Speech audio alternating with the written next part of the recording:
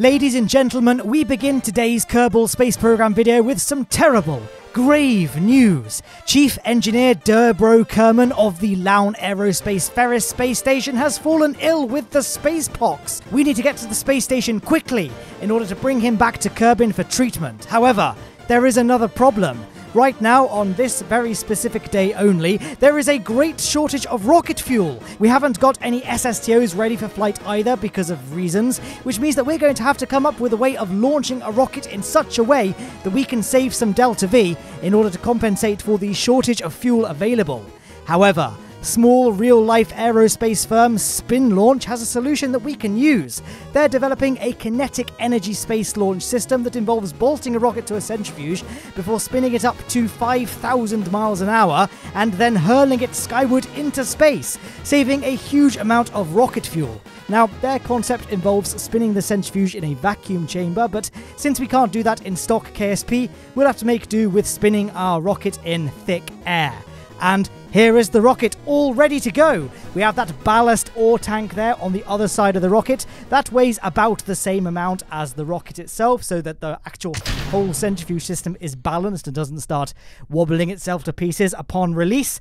And now we can just begin revolving that motor and get our rocket up to speed. We do have a fuel tank built into the centrifuge itself, so we can use our rocket's engine to get ourselves moving a bit quicker without draining any of the fuel on the rocket tanks themselves. And then we can start thinking about releasing our vehicle. You may be wondering why I've got two Kerbals on board this vessel, given that the rocket itself only has one seat, and that's because there is a risk during the spin up process that Bill Kerman will reach his G limit and fall unconscious. And then when he falls unconscious, we've got no way of stopping the centrifuge. But by having either a probe core, or what I think is more fun, hence why I've gone with this solution, uh, by having another Kerbal on the non spinning part of the centrifuge, we'll still have control of the mechanism and can bring it to an emergency shutdown. But we didn't need to do that in this case, it was all good. We can start, it looks like we're starting to get up to a nice high speed. The whole structure is starting to wobble about a bit. So here we go. We're going to release three, two, one, go! Oh, it's just quickly. Just This is fine, guys. Deploy the engine. Look at that. What was that? 36 meters per second in the end? 36 meters per second of Delta V saved. I think you guys can all agree that this was worth it. Think about how many funds that that's at least two funds right there. You could probably, I mean, that's like Bradley Wistons' space agency's entire monthly budget for Delta V. So really, there's a huge saving there. And now that we're off the ground, we can just continue powering forward thanks to that very, very powerful vector engine. The vector engine is really, really overkill for this rocket, but I picked it because it has a very high gimbal range to counteract the uh, the spin upon launch, although as you probably saw, it didn't really make a great deal of difference. But hey, makes maneuvers very, very quick. You do have to be careful, actually, that uh, once you've reached space, to continue using the vector engine, you've got to crank that thrust limiter right down, just because, uh, and I learned this the hard way, throttling up to full throttle with the vector engine, you know, unrestricted, will cause your Kerbal to black out. Now, this won't apply to every Kerbal. I'm sure Jebediah and Valentina could tolerate the G-forces, but Bill Kerman here certainly can't. And I'm I'm using Bill for this particular mission because Durbro Kerman, the Kerbal that we're going to the aid of, uh, is the chief engineer of the space station. So we need a pretty well qualified engineer to take his place temporarily. And Bill Kerman, you know, being the chief engineer of Lowne Aerospace as a whole, seems like a good replacement for the time being. He can also ensure that Durbro Kerman's contraction of spacepox didn't come from any of the engineering systems, using his superior skills in analyzing engines and ears. That's what engineers do, right? I have no idea. I'm not a rocket scientist. Anyway, here we are. Uh, I just just there, you might have missed it, but I lowered the thrust limiter of the Vector engine so we can perform our circularization. It was this point in take one of this mission uh, where Bill blacked out, so I had to redo it. I did actually do quite a few attempts of the launch. Obviously, the launch didn't really go quite so well because we did do a 360 spin upon deployment.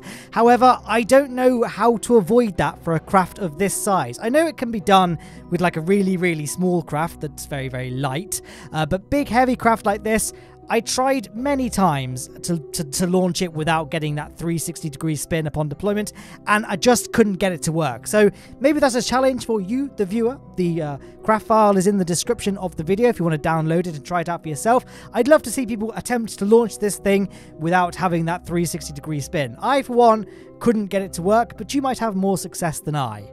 Uh, or you could make modifications to the rocket, such as, I don't know, putting bigger tail fins on it. Although at a certain point, we've not got much Delta V left, and as I said in that very legitimate intro, we have a, a sudden shortage of fuel for plot reasons at Lowne Aerospace today.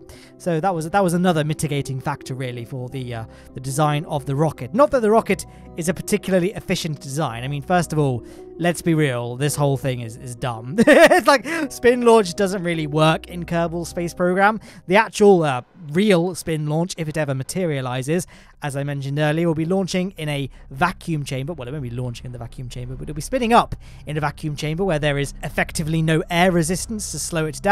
And of course, the rocket itself will be unmanned, obviously, because it would kill any human on board.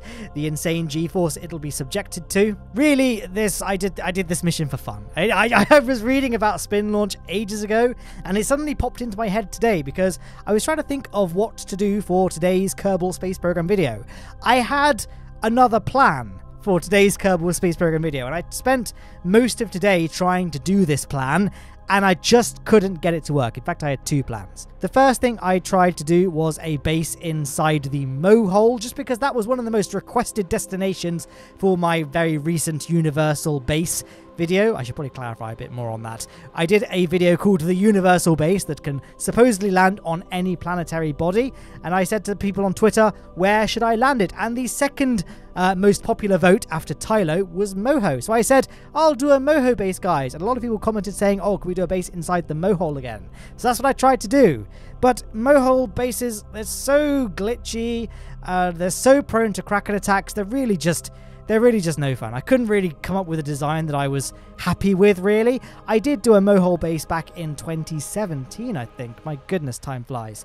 Uh, and, and, it just, it, it worked in the video, but practically speaking, you can't i can never ever go back to that base because as soon as i load it the physics easing and all that it'll just explode. I can't go within physics range of that base anymore because it'll just explode. It, it, it's a fun thing to do in a video but practically speaking it's not really feasible. So then i thought well let's do a, a twist on the old surface base formula that i normally do. Either i assemble surface bases in orbit and then land it or just launch the entire surface base as one giant monolithic structure. But i thought you know what with the you know, breaking ground pieces. What about having a base that unfolds? So it's all compact upon launch. It doesn't have a ridiculously wide fairing. And then when you're ready to land it, it can you can just press an action group and a KAL controller will unfold all the modules and it'll expand. It'd be really, really cool. But it was just so prone to Kraken attacks. It kept shaking itself apart. It didn't really work. And then I was left uh, saying, oh, bother. What should I do? And then I don't know why, but suddenly I was reminded somehow by the of, the spin launch system. I thought, you know what? Let's do a spin launch. I mean, no, I didn't do that. I then realized that Lowne Aerospace has a sudden shortage of fuel and I needed to save some fuel, and so I did spin launch. Okay, okay, we don't have to pretend that this is the actual legitimate reason.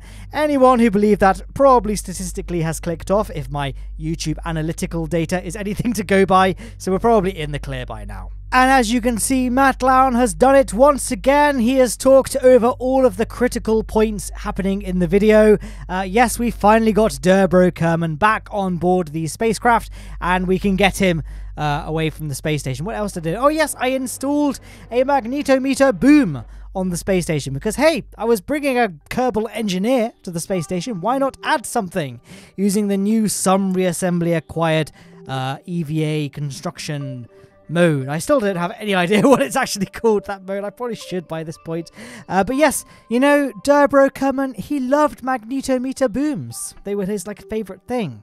But our, you know, our space station doesn't have one because I built it in a time where the magneto boom experiment didn't exist. So it didn't have any. So I thought, you know, we're rescuing Durbro Kerman. He, he might not make it, you know. Spacepox is a very, very serious condition.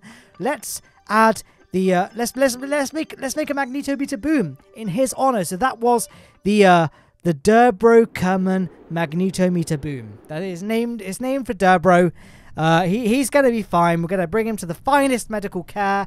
Um, I don't have any parachutes on this module, I'm afraid, Durbro. I was trying to save Delta V, so you're going to have to parachute uh, down to the surface. And I didn't really plan this very well because now uh, he's over water. So we need to. Well, I thought maybe we could just point him towards the land and uh, we can. And, and spoiler alert, guys, he does make it to the land. Don't worry. Uh, but yeah, um, that that was. This is. I'm wrapping up the video now. And you may, may be wondering, oh, hasn't he just hit the surface of the water? And no, guys, because actually he made it to the land. And I don't know what you're talking about. Look at that. See, there he is, landed with his parachute as as planned all along. So I don't don't comment about anything. It's fine. Uh, here, there, he's is fine. So that that was my spin launch video, and uh, I feel like there was a lot more I should have talked about uh, that I wanted to say. When I was doing this video, I was like, oh, I'm going to talk about this, this, and this. And then I came to recording and I'm like, oh, Durbro Kerman, he liked magnetometer booms. And, um, and that's it. If you want to watch any more videos by me for some reason, there is a link. There are links. Both of the I made both of those videos. Um, you can subscribe, go on Patreon, and that's it, guys. Thank you for watching. Um,